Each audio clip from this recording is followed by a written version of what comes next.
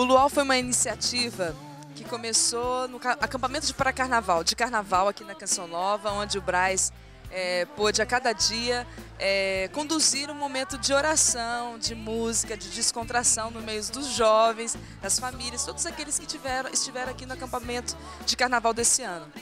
Para mim, é muito legal essa iniciativa que a Canção Nova dá e também que é um- uma iniciativa e uma dica para muitos jovens, muitas pessoas que passam por aqui para realizar esse tipo de evento também nas suas comunidades, principalmente na madrugada, onde os jovens têm várias, diversas opções para se perder. A Canção Nova traz o luau na madrugada, ó, daqui a pouco está começando, até as duas da manhã, com encerramento, encerramento com a bênção do Santíssimo, para dizer que é possível sim, a gente está na madrugada, em vigília, em oração, no nome de Jesus, onde nessa hora muitos se perdem, nós estamos ganhando a vida e doando a nossa vida, cantando e louvando, agradecendo a Deus por tudo que Ele faz nessa juventude linda, juventude PHN.